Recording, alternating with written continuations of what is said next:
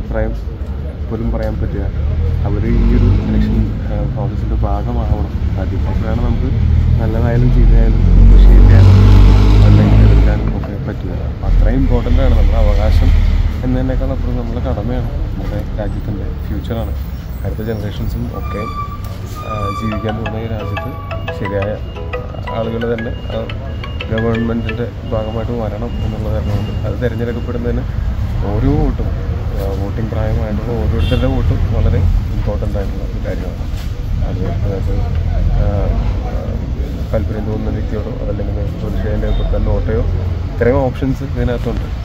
വന്ന് ഏതാണോ നിങ്ങൾക്ക് എവിടെയാണ് വോട്ട് രേഖപ്പെടുത്തണമെന്ന് തോന്നുന്നത്? തന്നെ ചെയ്യുക അത് തീർച്ചയായിട്ടും അത് നമ്മളുടെ കടമയാണ് എന്ന് തന്നെ മനസ്സിലാക്കിയതും ഏറ്റവും കൂടുതൽ ആൾക്കാർ ഈ വർഷം ഒക്കെ ഞാൻ വിചാരിക്കുന്നത് കഴിഞ്ഞ വർഷത്തേക്കാളും മുൻ വർഷങ്ങളിലേക്കാളും കൂടുതൽ ആളുകൾ വോട്ട് ചെയ്യാൻ വരും തന്നെയാണ് ഇനി തുടർന്നങ്ങോട്ടും അങ്ങോട്ടും നൂറ് ശതമാനം വോട്ടിംഗ് ഉണ്ടെങ്കിൽ അത്രയും നല്ലത് വിശ്വസിക്കുന്നതാണ് ഞാൻ ചോദിച്ചത് നമ്മുടെ രാജ്യം ഒരു ഏകാധിപത്യ രാജ്യം ജനാധിപത്യ രാജ്യം എന്ന് പറയുമ്പോഴും ഒരു ഏകാധിപത്യ സ്വഭാവത്തിലേക്ക് രാജ്യം നീങ്ങുന്നു എന്നുള്ളൊരു ആശങ്ക വലിയ രീതിയിൽ പ്രത്യേകിച്ച് ഉത്തരേന്ത്യയിലൊക്കെ നടക്കുന്ന സംഭവങ്ങളുടെ പശ്ചാത്തലത്തിൽ വലിയൊരു വിലയിരുത്തലുണ്ട്.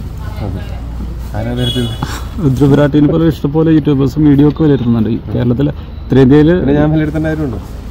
എന്താണ് കലാകാരൻ എന്നുള്ള രീതിയിൽ കലാകാരൻ എന്നുള്ള നിലയ്ക്ക് ഞാൻ ഇപ്പം ഇത്രയും കാര്യം പറഞ്ഞിട്ട് എന്ന് മനസ്സിലായില്ലേ? കലാകാരൻ എന്നുള്ള. ഇത് തന്നെയാണ് നിലപാട്. തീർച്ചയായിട്ടും അതുകൊണ്ടല്ലേ ഞാൻ രാവിലെ ഒരു വോട്ട് ചെയ്യാൻ വന്നത്.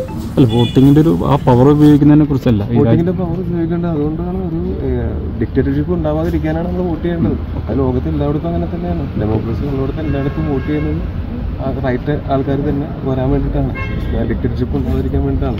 അത് ചോദിക്കേണ്ടത് ഞാൻ പറയേണ്ട കാര്യമുണ്ടോ? നിങ്ങൾക്ക് അറിയാവുന്ന കാര്യമല്ലോ? ഇതിനൊക്കെ ഇലക്ഷൻ അംബാസിഡർ നൽകി. ഇപ്പോൾ തൃശ്ശൂർ ജില്ലയിൽ തന്നെ ഇത്തവണ ഏറ്റവും കൂടുതൽ പുതിയ വോട്ടർമാരുള്ളൊരു ഡിസ്ട്രിക്ട് കൂടിയാണ്. എന്താണ് പുതിയൊരു വോട്ടർമാരോട് പറയാനുള്ളത്?